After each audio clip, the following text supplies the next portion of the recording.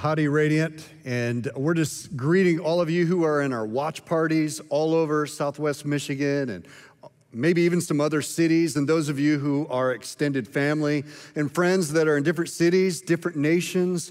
You know, one of the things that's been uh, a uh, pleasant surprise that none of us could have planned on in the middle of the last four months of a pandemic is the reach that we have been able to have into different nations, into different cities, different streams, different people's lives that have joined us online as we've been continuing to gather online, really growing our family. And so, wherever you are today, we just welcome you. We're so glad to be with you and to study God's Word together. And uh, we are looking forward to our night of worship uh, at 6:30. We are sold out but uh, that's only for the in building experience. You can join us online wherever you're at. You can even have a, worship party, have some people over, and we're going to worship the Lord together. Prayer, prayer and worship are two of the foundational values of Radiant Church, and uh, we're excited to begin the process of, of also regathering in our buildings as much as we're gathering online. And uh, about four and a half months ago, or about four months ago, when this all took place, the Lord spoke very clearly to me to teach out of the book of Exodus, and that is where this entire series, Out of Egypt, has come from. It's been a prophetic series where God is really speaking to us about bringing us out of each of our own personal Egypts, our mindsets, our attitudes, and in the middle of incredible difficulties and wilderness wanderings letting God prove himself faithful, confront the idols of our own life, and become people marked by his presence. This is the last uh, lesson or the last message out of this series. Uh, and we're going to be looking at the book of Joshua. So if you have your Bibles, open them to Joshua chapter 1. And I've entitled this weekend's message, Preparing to Cross Over. Preparing to Cross over. And we're going to read beginning in verse number one, the first nine verses out of Joshua chapter one. And it says in verse number one After the death of Moses, the servant of the Lord, the Lord said to Joshua, the son of Nun, Moses' assistant, Moses, my servant, is dead. Now therefore arise, go over this Jordan, you and all this people, into the land that I am giving to them, to the people of Israel. Every place that the sole of your foot will tread upon, I have given to you, just as I promised to Moses. From the wilderness of this Lebanon as far as the great river, the river Euphrates, all the land of the Hittites, to the great sea towards the going down of the sun shall be your territory. No man shall be able to stand before you all of the days of your life. And just as I was with Moses, so I will be with you. I will not leave you or forsake you. Be strong and courageous, for you shall cause this people to inherit the land that I swore to their fathers to give to them. Only be strong and very courageous, being careful to do according to all the law that Moses my servant commanded you, and do not turn from it to the right hand or to the left, that you may have good success wherever you go. This book of the law shall not depart from your mouth but you shall meditate on it day and night, so that you may be careful to do according to all that is written in it. For then you will make your way prosperous, and then you will have good success. Have I not commanded you? Be strong and courageous. Do not be frightened, and do not be dismayed, for the Lord your God is with you wherever you go. Now, these are the words that God spoke to Joshua as he was beginning to become the key leader of the people of God. This is exactly 40 years after Joshua, being one of the 12 spies, had gone into the promised land the very first time. And you'll remember the story that out of the 12 spies that Moses sent in to scope out the promised land, only two came back with a good report, and that was Joshua and Caleb. The other 10 brought a bad report. The other 10 came back and said it's a land that devours its inhabitants. Those who live there are the uh, descendants of the Nephilim, the giants in the land. Yeah, the land flows with milk and honey. Yes, the produce is amazing. Yes, it's beautiful. It's everything God said it was, but there's absolutely no way that we can go in and possess the promises. What we need to do is we need to appoint a leader, somebody who's going to take us back to Egypt, where at least we know that we were going to have food and at least we know what to expect from day to day. And what they did so displeased the Lord because of their doubt and their unbelief, and because of their challenging the very character of God, that entire generation was not allowed to go in and inherit the promised land. An entire generation of 40 years. What took place after that event was God led Moses and the children of Israel wandering in circles in the wilderness until an entire generation died in the wilderness. Their corpses fell in the wilderness, except two of the spies. Everybody 20 years and older died in the wilderness. Those that were 20 years and younger, they were qualified to go into the promised land. Caleb said of him that there was a different spirit in him, and Joshua, both of them gave a good report. Faith rose up in their heart, and because of that, God said, You're the only ones who are going to go in. And so here we are 40 years later. Moses has led them for 40 years. I don't know about you, but I can't possibly fathom what it was like to be on a 40 year camping trip with 200 complain or 2 million complaining children.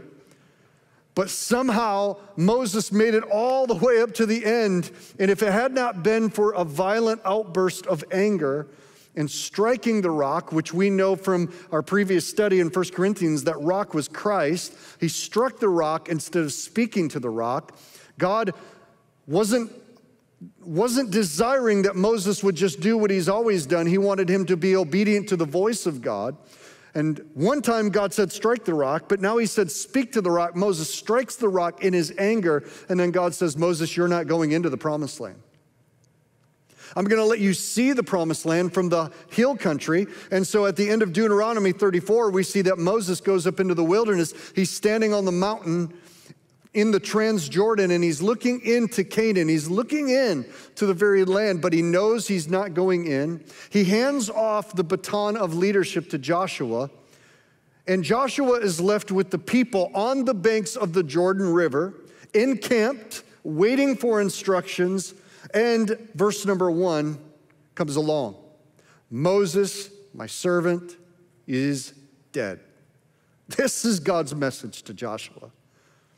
Moses, my servant, is dead. It's time for you to arise and lead these people over the Jordan, all of these people, into the land that I've given to them as an inheritance. Joshua finds himself in a critical moment where he has been commissioned by God to take the people of God, a younger generation who's risen up, and to help them to cross over to help them to cross over. It's going to take some preparation to cross over, it's going to take some consecration to cross over. But the time has come for them to cross over. And the one thing I know is that over the last four months or so, there's been a lot of things that have been going on in the natural world. And if we are only appraising what has taken place over the last several months and weeks, if we only appraise it according to the flesh, then we're looking at the world the same way that everybody else is looking at the world. But if we've been looking at what is happening through the eyes of faith, and even making the distinction between what God has caused and what God has used in our lives, in our community, in our culture, in our church, if we're looking through the eyes of faith, then what we know is that God has been preparing us. God has been challenging us. I believe that the days that we are in and the days that are coming are going to be maybe more challenging than anything that we've ever seen before. Just as Joshua was about to lead the children of Israel into the promised land, there were still giants that were waiting for them in the land. They hadn't gone away. There were still cities and fortresses that needed to be defeated. They were going to do that by faith and not by might. They were going to have to possess the land. They were going to have to pull roots and rocks and stumps, and they were going to have to plant seeds. There was difficult times that were ahead, but they were days of promise. And in the same way, I believe that there's days of promise that lie ahead for us. And the things that we have learned in how God has brought us out of Egypt, and the things that we have learned in the wilderness wanderings are the things that prepare us to consecrate ourselves now for the days that are coming. Another way of saying crossing over is to overcome. To overcome. To cross over the Jordan River meant that they had to go through something or over something. Another way of saying crossing over is overcome. And Jesus had a lot to say about overcoming. In the book of Revelation, when Jesus speaks to John to give him seven letters to seven churches, every one of them ends with a promise. And the promise is this to him who overcomes, to all seven churches that represent seven church ages and represent seven church conditions. Jesus has a promise attached to those who will embrace an overcoming mentality. Here are the promises. In Revelation 2, verse 7, he says, To the one who overcomes, I will give to eat of the tree of life. And then in chapter 2, verse 11 of Revelation, Jesus said to the one who overcomes, He shall not be hurt by the second death. And then he says in 217, I will give some of the hidden manna, and I will give him a new name written on a white stone that no one knows. In 226, he said, I will give you power over the nations.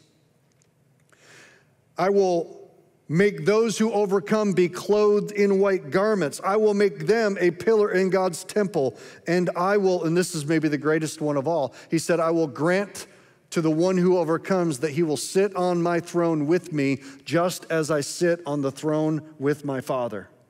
In other words, he's going to be above and not below. He's going to reign and he's not going to be dominated. There are promises that God has for you and I if we will embrace an overcoming mentality or a crossing over mentality. But it's a decision that we have to make. See, there's two mentalities that we see in Joshua, right in verse number one. There's the Moses mentality, which is a salvation mentality, and there is the Joshua mentality or the overcomers mentality. Now, see what Moses was great at was getting the people of God out of Egypt, out from under the bondage of the devil, out from under the bondage of their sin, out from the bondage of a death sentence to hell. That's a salvation mentality. But a salvation mentality or a Moses mentality was not going to get them in to the promised land, which represents a state of spiritual maturity, of the promises of God coming to their full maturity. It takes a Joshua overcoming mentality to get them actually matured, consecrated, and ready to cross over and to cross in, to overcome so that they can possess the promises of God. And put it to you this way Moses could get them out of Egypt, but he couldn't get them into the promised land. Why? It's because one was the salvation only mentality, and Joshua represents a different spirit. Deuteronomy 34 in verse number 9, when it describes Joshua, it says that the son of Nun was full of the spirit of wisdom. He had a different spirit, a spirit of wisdom.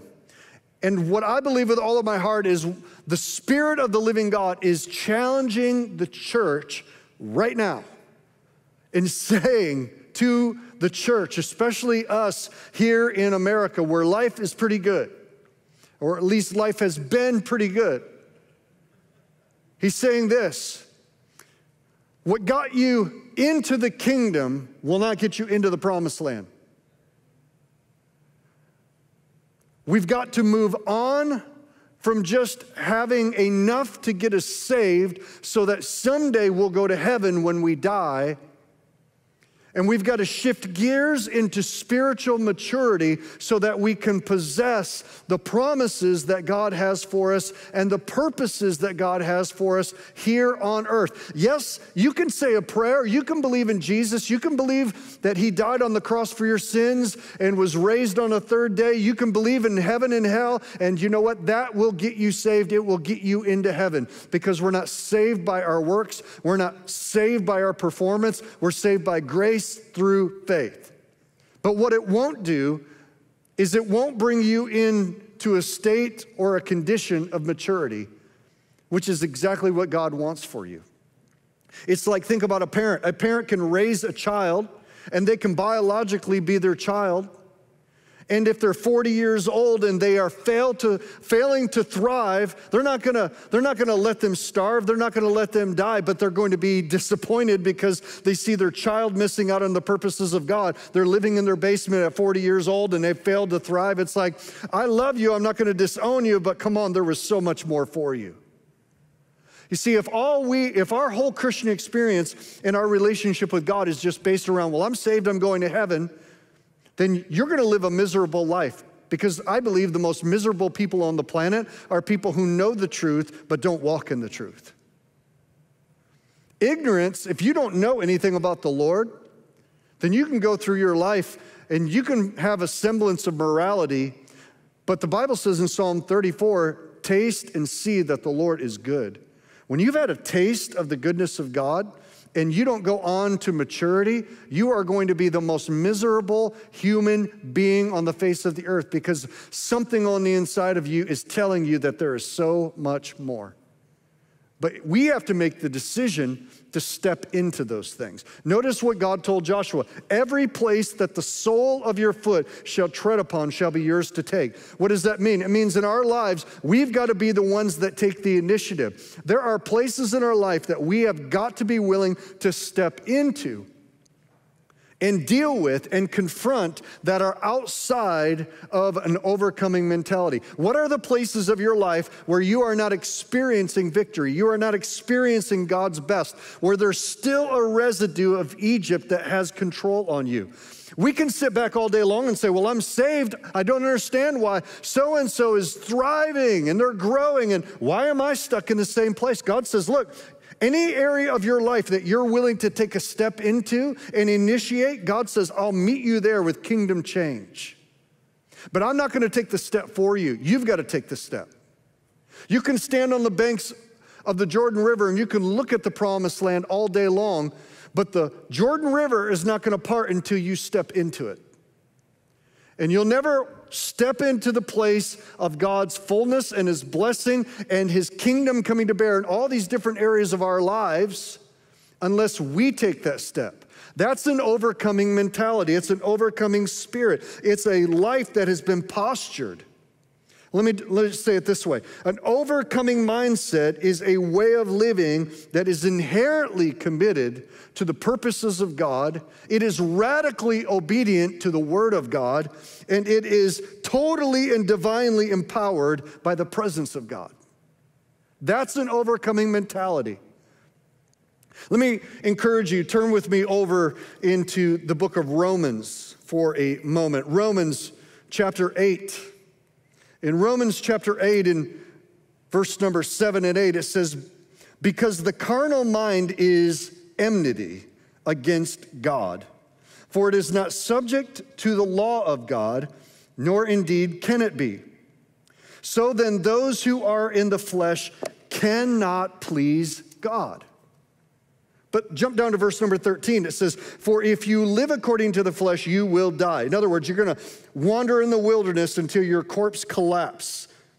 But if by the Spirit you put to death the deeds of the body, you will live. For all that are led by the Spirit of God are sons of God. For you did not receive the spirit of slavery to fall back into fear. You weren't created to go back into Egypt, but you have received the spirit of adoption as sons by whom we cry, Abba, Father. The Spirit Himself bears witness with our spirit that we are the children of God, and if children, then heirs, heirs of God and fellow heirs with Christ, provided we suffer with him in order that we also may be glorified with him. This is an overcoming spirit. It's a Joshua mentality that says, I'm not going to be satisfied with just being saved. I'm not going to be satisfied with just being a slave that wanders in the wilderness. That I'm living off of just enough. I'm living, you know, off of manna. God's providing just the bare necessities. Manna was just there to get them through the bridge of the wilderness until they could reap the harvest in the promised land. But they settled for the manna. A salvation mentality just says, Well, I'm saved, I'm on my way to heaven, that's good enough. Now I'm living my life. How come things don't just change? It should just be automatic. A Joshua overcoming mentality says, No, God is with me, and I'm stepping into every facet of my life with the presence of God, and I'm going to bring it under the subjection of the kingdom of God. I'm not going to walk according to the flesh. My mind, my carnal mind, the actions of the flesh that are driven by my appetites, I'm not going to live like that anymore. That's a slave mentality. I there is a new and a living way. Just like Joshua had a spirit of wisdom, there is a new and living way that the Spirit of God has made for you and I to live. We're sons and daughters of God. We were created to be led by the Spirit of God. We were not created to be led by our appetites. We were not created to operate in a hostility and enmity against God. We were created to walk in partnership with God. But we've got to respond to the invitation to arise and to cross over. Rise and cross over and to possess the promises that God has for us. You see, a Joshua mentality, number one, is inherently committed to the purposes and the people of God, just like Joshua was. Joshua's number one desire was, I want to please God. But you can't please God. We just saw Romans chapter 8. You can't please God when you're in the flesh. I've tried and it doesn't work. Sometimes your carnal mind, you get uh, great ideas. It's like if I do this, God will be pleased with me. Or if I do this, this will impress God. You can't please God when you're in the flesh. Well, He knows my heart. Yeah, He knows your heart, that it's wicked and totally deceptive. The human heart, Jeremiah says that. God knows your heart. That's why He says He wants to give you a new heart. Well, how does He get a new heart? When we surrender our old heart. Well, God knows my intentions. Yeah, He knows your intentions. You can't please God in the flesh. What does it take? It takes an inherent commitment to the purposes and the people of God. Joshua was responsible for all of these people. Think about that for a moment. Up until this point, all Joshua had to do was wait on Moses. All Joshua had to do was when Moses went to the mountain to hear from God, Joshua went. Said, What did God say, Mo? God said this. Great. And he could do it. He could live his life in excellence as long as he was told what to do. But now God is saying this you don't have Moses to tell you what to do anymore. As I was with Moses, so I'm going to be with you. Only be strong and very courageous. Don't turn to the right or to the left. Be strong and very courageous. Meditate on the word of God.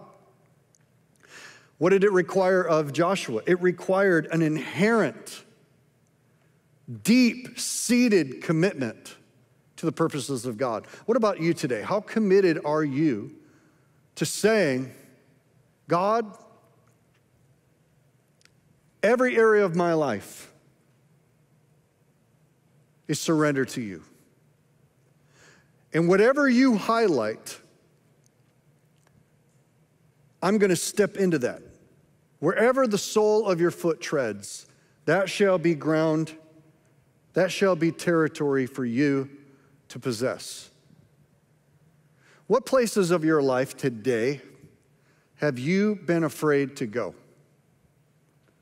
What areas, what, what things of your past what under, uh, unsurrendered ways of thinking have you kind of compartmentalized away from the Lord and you're actually hurting yourself? So let me just tell you God's not to kick down the door of those places in your life.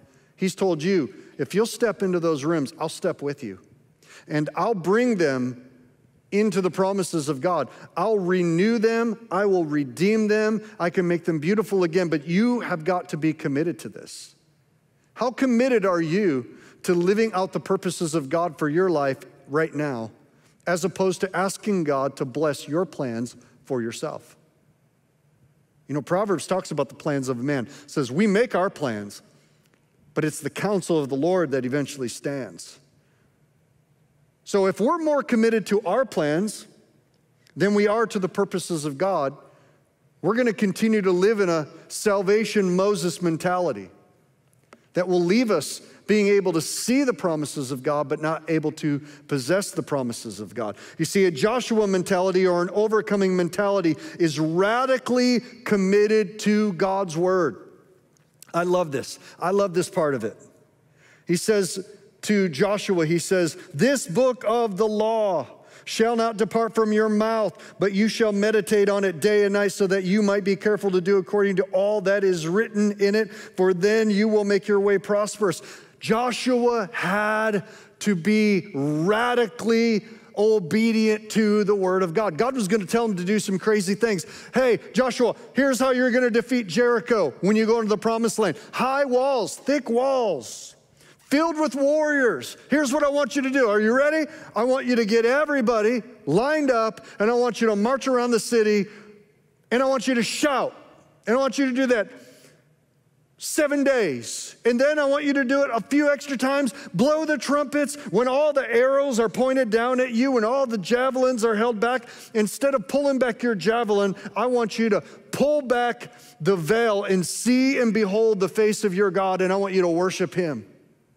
I want you to shout. And when you do it, I'm going to knock down the walls. Sound like a deal? Well, Lord, that doesn't make sense. Of course it doesn't. But will you be radically obedient to my word? Because I'm not going to give you another word until you've obeyed the last word. You see, the key to our success, and by the way, in America, we've got all kinds of wrong ideas about success. We think success is money. We think success is power. We think success is fame. We think success is being able to move to a community in Florida and play shuffleboard and have no responsibilities and just kind of die uh, our lives overlooking the lagoons and you know and, and never being able to and never having to do anything that's inconvenient for us. That's not success. We can be successful in all the wrong things and failures in all the eternal things. And it will only be figured out in eternity. Success is being able to look Jesus in the eyes someday and hear him say, Well done, good and faithful servant. Success may never show up as success on this side of eternity, but it's being radically obedient to the word of God. Yes, I'll march around Jericho. Yes, I won't take any of the silver or gold or the garments of Babylon. I won't do anything. It's all dedicated to the Lord. Yes, Lord, okay, we will carry the ark into the Jordan when it's overflowing its banks at the worst time of the year. It was not convenient. It's the worst time of the year to do this. And God says, here's how it's going to happen. You'll step down into it, then I'll pull back the river. How many times in our life have we like uh, said to God, God, if you'll pull back the river, I'll walk through. He says, great. You step in, I'll pull it back. Lord, I'd rather you pull it back before I step into it. And he says, I know you'd rather do that. But do it my way. What river is God calling you to step into right now? How committed are we to the Word of God? And so much so that God says, I want not you just meditating on the Word, but I want it to be the words that you speak. I don't want the book of the law to depart from your mouth day or night. Christian, listen to me. Over the next four months, you are going to have every opportunity to say a lot of things in a lot of different ways on a lot of different platforms about elections, politicians, news cycles, health, other Christians, other churches, people that aren't Christians. And you know what? A lot of it may actually be factual. Probably most of it is nothing but spam. And if we're not careful, we can say a lot of things that are temporarily factual, but not eternally true. And we can be guilty of not being radically obedient to the Word of God because we're more committed to our own purposes or plans. We used to, used to have this thing that we did in high school, and for those of you who went to high school, you know, 30 years ago or further back, uh, before there were wheels and fire, uh, you may have played this as well. We used to have this thing where, as friends, we would have conversations where the only way that you could answer was with either titles or lyrics from a song. So if somebody would say something, you had to answer with either the title or the lyrics to a song. It's the only way that you could answer. And you know, until you got somebody stuck and they tried to stretch it, and it's like, that's not the words, like Elton John's Rocket Man or something like that, and nobody knows the words to that. And you know you're trying to quote it back and forth and you try to see how long you can go in a conversation where all it is is maybe a movie title or a, a song title or a lyric and you go back and forth. I wonder what would happen if we would limit our conversations to only scripture. How long could your conversation go what if you made a decision that you were only going to limit the words that you say to the words in Scripture that you already have in your heart? I'm not talking about, oh, I got to say this, so digging in your concordance trying to find, okay, stone them all and smash the children's mouths on the rock. Okay, that makes sense. I'm not talking about that. I'm talking about you've got the word so deep in your heart that it's what naturally overflows your life. My grandfather, who I've talked about many times, he's about turned 89 years old. And in some ways, he's not as sharp as he used to be in conversations. His uh, mind is slowing down, it's slipping. Sometimes he's not fully engaged, but he's read the Bible every day of his life since he was 19 years old. And when we go and visit my grandfather, my grandparents, sometimes he'll just be staring off into space. And then you begin to talk to him. The only things that he knows how to draw on is the words to a worship song and to scripture. And in spite of he can't remember so and so's name, and he doesn't remember this story, and he doesn't remember sometimes the people who are in the room, but he'll get going, and it flows out of the deep place of his spirit. It's the word of God, and it's on his mouth. You can carry on a conversation with him that is just scripture or is just lyrics. He has memorized more hymns than I've ever sang, and I'm not talking about verses one and three and skipping two and five. He knows all five choruses and stanzas stanzas of all the songs of worship from his generation that are deeply embossed in his heart. I wonder what would happen if you and I had the word of God so deep deeply entrenched into our soul and so on the tip of our tongue, our words seasoned with grace, speaking the truth of God's word, limiting what comes out of our mouth, not allowing the flesh and old slave language to flow out of us. I wonder if the world would be different. I wonder if our success would be different. I wonder if I'm not talking about success as far as, oh, I can do this to get that. I'm talking about success as witnesses of Jesus. Success that the world looks at us and says, there's something different about them. Why is that person always quoting Bible? Why, why do they got to do that? Why can't they just get down in the muck with the rest of us and, and post something really mean or really full of vitriol? How come the only nice people on Facebook are Christians? Wow, can you imagine if that was said? You see, if we're going to have an overcoming mentality, we've got to be inherently committed to the purposes and the people of God, but we've got to be radically committed to God's word, not just to know it, but to obey it. To obey it. Do not be a hearer only, but a doer of the word of God. And finally, an overcoming spirit, an overcoming mentality is divinely empowered by God's abiding presence. Look at what he says multiple different times. Just as I was with Moses, so shall I be with you. Wherever you go, I will be with you. I will never leave you nor forsake you. And then right down here, verse number nine, he says, For the Lord your God is with you wherever you go.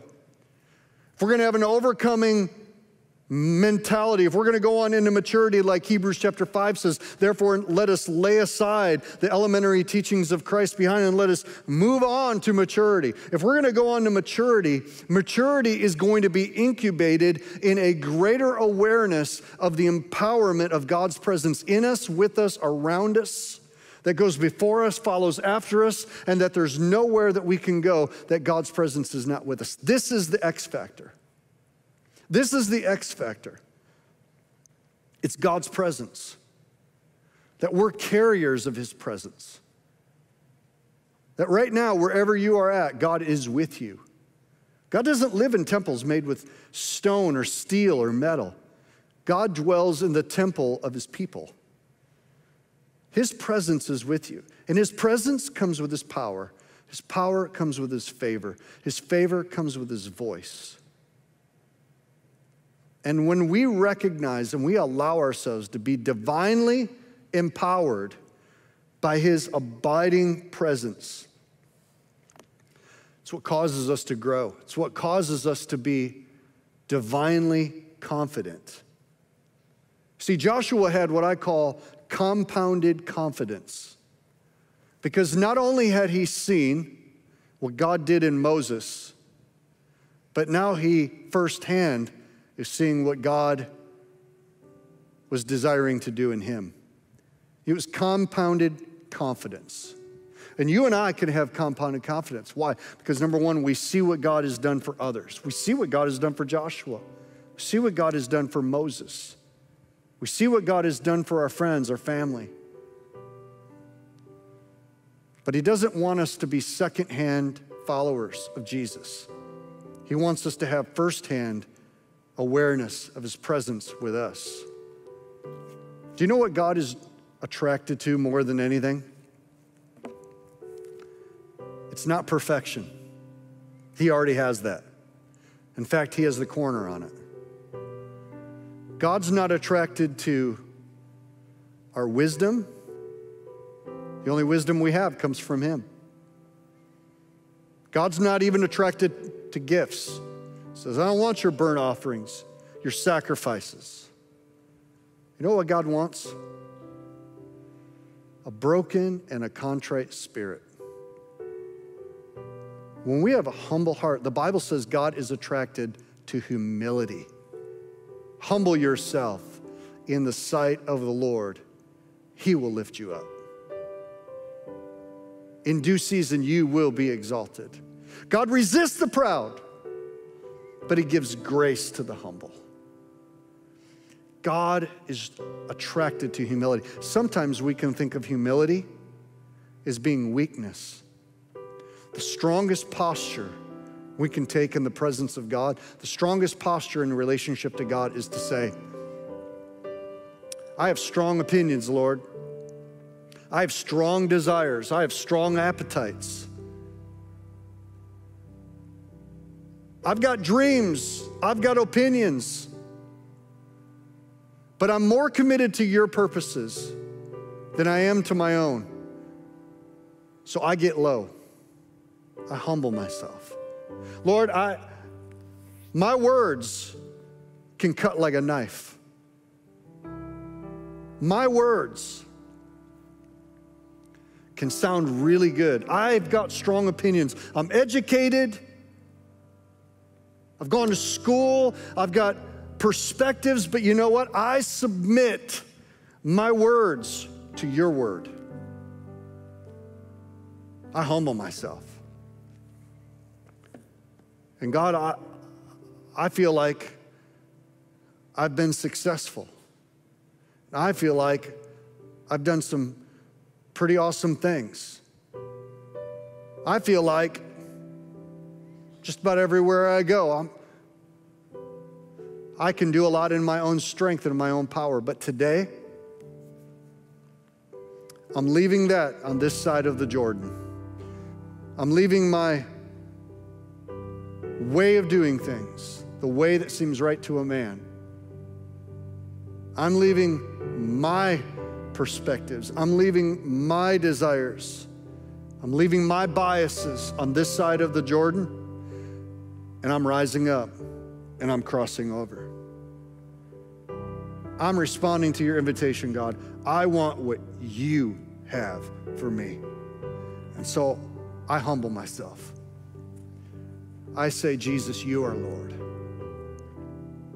Your way is true.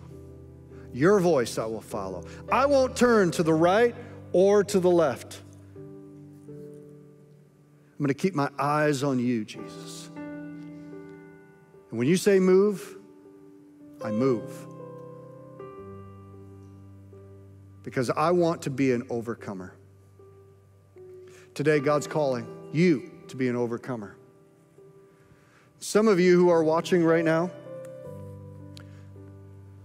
you've never surrendered your life to Jesus Christ. When we talk about a salvation mentality, you've not even done that. You've not even had a moment where you've moved beyond just, I believe in the existence of God, to actually surrendering and recognizing that you need God's grace. You need His forgiveness. You see, every one of us are going to stand before God someday and give an account for our lives and for our sin. You're either going to stand before Him guilty as charged, or you're going to say, But even though I was guilty, Jesus paid it all.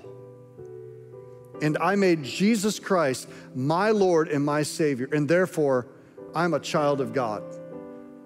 That is the only answer on that day that is going to throw open the gates of the kingdom of God, throw open heaven for you. It's the only answer that will give you eternal life. And today, God's wanting you to surrender your pride. He's wanting you to not push it off into the distance. He's wanting you to lay down your skepticism and your doubt and your unbelief. He's wanting you to call on His name say, Jesus, save me. Forgive me. I know I'm not right with God. And I don't want to, on that day, show up in my pride and my arrogance. On that day, I want to humble myself and say, Jesus, you paid it all. Wherever you're at, if you know you're not right with God, maybe you're today, you're someone who at one time you followed Jesus, you went to church, you would, you would have said, I had a relationship with God, but you know what? You've been You've been sidetracked and you've wandered in the wilderness. Maybe you've even made a return trip back to Egypt. And now, like today, if you've never done it, you've never asked Jesus into your heart to be your Lord and your Savior, today's the day to do that. If you've walked away and you're a prodigal, today's the day to return. I want to lead you in a prayer wherever you're at, right in your living room by yourself, in front of other people. It doesn't matter.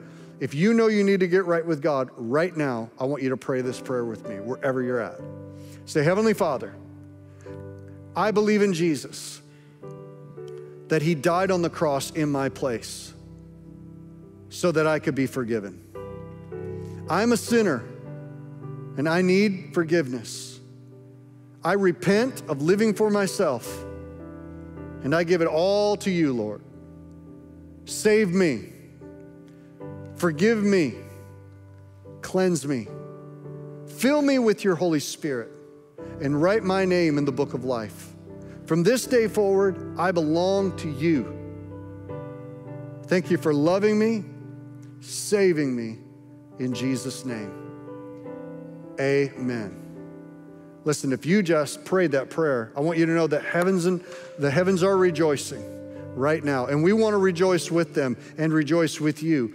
Wherever you're at right now, just text the number on your screen and let us know that you just made that decision. You just gave God your yes today. The angels in heaven are rejoicing.